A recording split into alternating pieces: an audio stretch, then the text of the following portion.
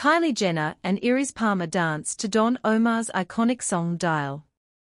Kylie Jenner has some Latinas showing her good music. The beauty mogul starred in internet personality Yris Palmer's TikTok as they danced to a remix of Don Omar's Dile. Jenner did her best hip swing with a big smile on her face. Omar got hold of the video and posted it on his Instagram, sharing his excitement.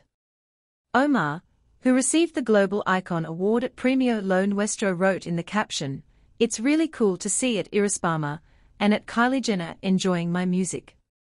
I'd say they're ready for hashtag back to reggaeton. Palmer was wearing one of Jenner's dresses and plugged her brand's release in the caption, so it seems like a strategic marketing ploy that worked. It has over 22.6 million views and over 3.2 million likes at the time of the publication. In addition to Jenner, Machine Gun Kelly, real name Colson Baker, went viral for performing his song Danza Kuduro at a music festival in Spain. Omar loved the video, and Machine Gun Kelly took the stage with him and Premio Lo Nuestro to sing the track, finishing the medley of his hits together.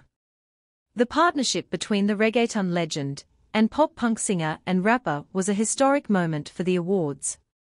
Following the performance, MGK joined the rest of the artists on stage, and they each shared a few words for Omar. You and I are from different worlds, but your music brought us together here tonight, he said into the microphone.